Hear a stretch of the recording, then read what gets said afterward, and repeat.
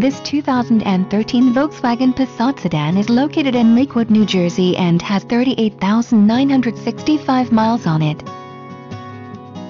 This sedan has a beautiful platinum gray metallic exterior paint color which is complemented by a Titan black interior color.